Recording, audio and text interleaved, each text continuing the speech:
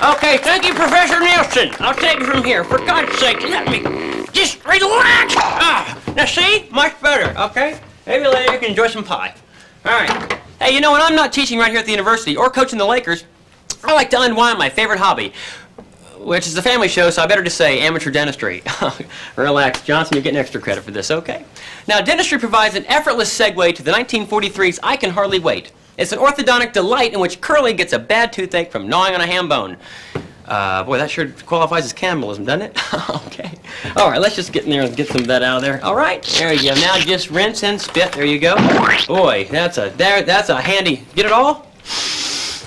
I love the smell of fluoride in the morning, don't you?